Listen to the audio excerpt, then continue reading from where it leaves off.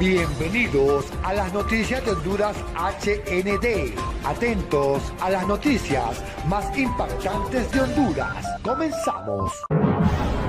El ex jefe de la policía de Honduras, Juan Carlos Bonilla Valladares, fue condenado el día de hoy a 19 años de prisión en Estados Unidos por cargo de narcotráfico. El juez federal, Kevin Caster, en la Corte del Distrito Sur de Nueva York, presidió la sentencia de Bonilla, de 64 años que se declaró culpable de narcotráfico el pasado 6 de febrero en el mismo caso por el que fue condenado el expresidente de Honduras, Juan Orlando Hernández.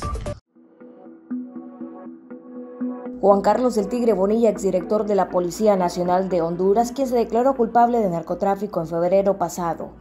En días previos, la Fiscalía de Estados Unidos solicitó al juez Kevin Castell imponer una pena de 30 años de prisión para el ex jerarca policial hondureño, mientras que la defensa legal pide una sentencia mínima de 10 años, alegando problemas de salud de su cliente. El Tigre Bonilla fue extraditado en mayo de 2022 desde Honduras hacia Estados Unidos luego de ser acusado por tres cargos relacionados con la conspiración para traficar drogas y uso de armas. En febrero de 2024 iría a un juicio en conjunto con el expresidente Juan Orlando Hernández y el ex policía Mauricio Hernández Pineda. Sin embargo, antes del inicio se declaró culpable por el delito de narcotráfico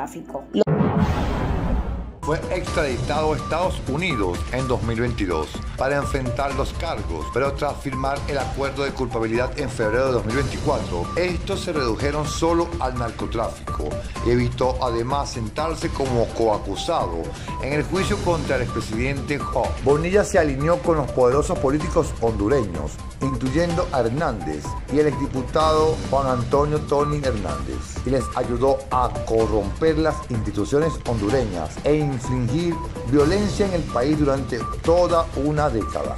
Esta situación es muy interesante seguirlo de cerca porque acá también se marca una sentencia condenatoria y que él se declaró culpable para un ex miembro de la Policía Nacional y su alto jerarca, ¿no? Fue un eh, director de la Policía Nacional en los tiempos eh, en que era presidente Porfirio Lobo Sosa, presidente del Congreso Nacional Juan Orlando Hernández y los años sucesivos, de tal manera que eh, sin lugar a duda debe ser una lección aprendida para Honduras en el cual había dentro del estamento policial una situación irregular permeado por el narcotráfico y creo que esa lectura es la que más debe dejar enseñanzas al país en el cual nunca más debe estar la institución policial infiltrada por el narcotráfico. Y acá vamos a ver eh, al final, Jackie,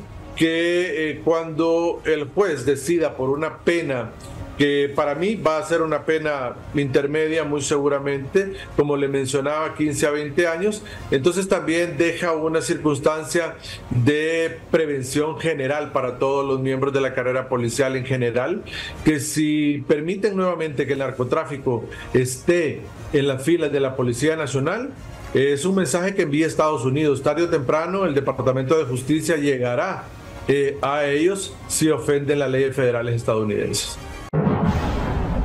Según medios hondureños, Bonilla, para quien la fiscalía pedía una pena de 30 años y su defensa pedía el mínimo 10 años, reclamó al juez por razones familiares y de salud y lamentó su error, pero el magistrado se mantuvo firme y le recriminó su forma de vida.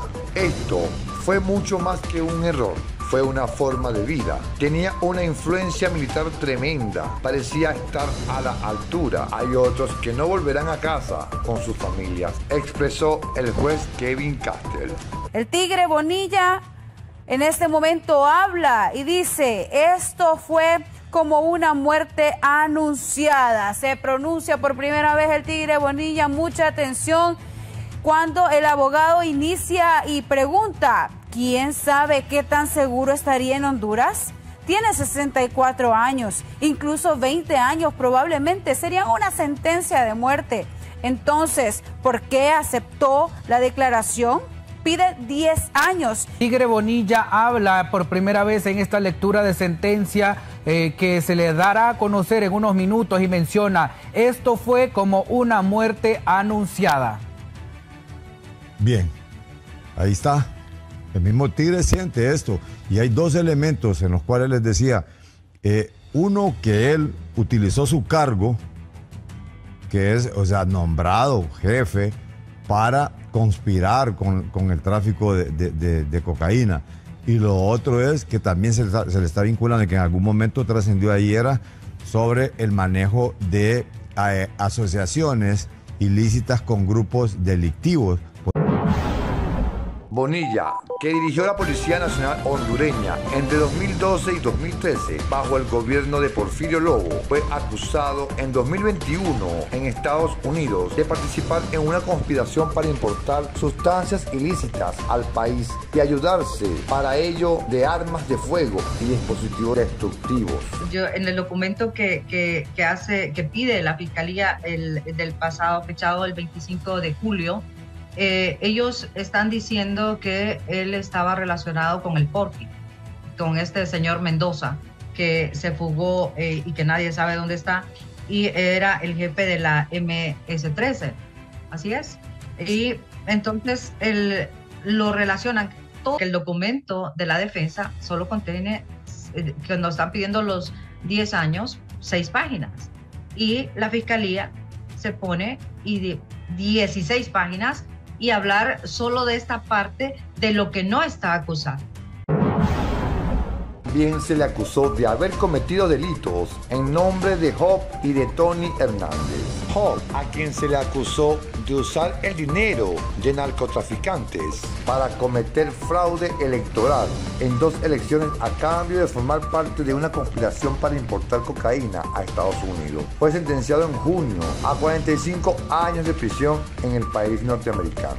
Su nombre comenzó a figurar en documentos de la Fiscalía de Nueva York, donde lo identificaban como CC7 el escrito indicaba que los hermanos Hernández Alvarado fueron los que se encargaron de promover su ascenso en la Policía Nacional. Y sería en mayo de 2020 cuando la Fiscalía del Distrito Sur de Nueva York y la DEA notificó que el Tigre tenía acusaciones por conspirar para importar cocaína a Estados Unidos y delitos relacionados con armas, puesto que se detectó que era parte de una violenta conspiración de narcotráfico en nombre del expresidente y su hermano. Atención, Honduras. La condena es inferior a los 30 años que había solicitado la fiscalía, pero supera los 10 pedidos por la defensa. Vestido con uniforme verdoso de presidiario y con los pies atados con cadenas, Bonilla pidió al juez que tuviera piedad. Yo colaboré, eh, la conspiración es colaboración, Em, el tráfico, incluso aunque nunca le hayan tocado la cocaína, que eh, el tráfico en sí, esto es todo lo que implica el delito de conspiración, pero eh, él, él yo creo que no la vio venir antes de que iban a utilizar todos estos argumentos que lo que muestran es a un hombre capaz de cualquier cosa de él considerando su edad, su estado de salud y que tiene nietos y una hija de 5 años, a lo que quiere volver a abrazar en su acuerdo de culpabilidad. Bonilla admitió haber contribuido con el tráfico de más de 450 kilos de cocaína entre 2003 y 2016 por territorio hondureño, vía marítima o aérea y con destino a suelo norteamericano. Bonilla fue un participante esencial en una de las mayores conspiraciones para traficar sustancias ilícitas en el mundo. Sostuvo la fiscalía que lo acusó de abusar de su posición al frente de la Policía Nacional de Honduras para facilitar el tráfico de sustancias ilícitas a cambio de sobornos y dinero de criminales. Suscríbete a las noticias de Honduras HND. Déjanos tu like, déjanos tus comentarios y no te pierdas las noticias más importantes de Honduras. Nos vemos en un próximo reporte.